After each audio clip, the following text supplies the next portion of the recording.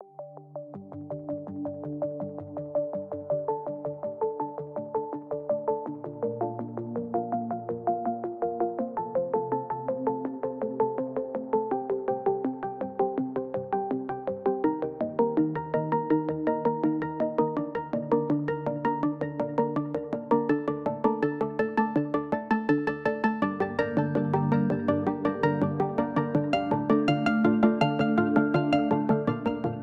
Parang pelikula. Ako, kasama ang buong City Council, ang direktor at cameraman. Hindi mabubuo ang isang pelikula nang wala kami. Kung saan naman ang aktor ay siyang umaarte lamang para mabigyan buhay ang kwento. Pero sila ang sumisikat, pinapalakpakan. Nakakalungkot ang Pasig. Naging isang pelikula na lamang.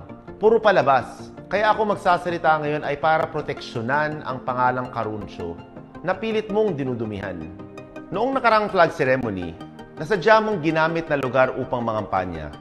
Sa pagkakasabi mo na itinext mo ko at nag-confirm sa pagdalo, ito ang telepono ko.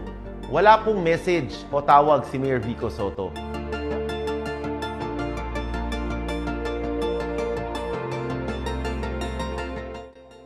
Sana bago natin pag-usapan ng politika, bago tayo mamulitika, magtrabaho muna tayo. Hindi po masama ang magbigay po na. Hindi po masama ang magreklamo dahil bilang mga mamamayan, karapatan po natin yan.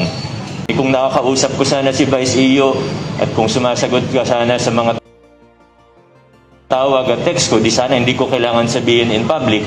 Pero wala na rin po akong choice kasi hindi naman nga po sumasagot sa akin.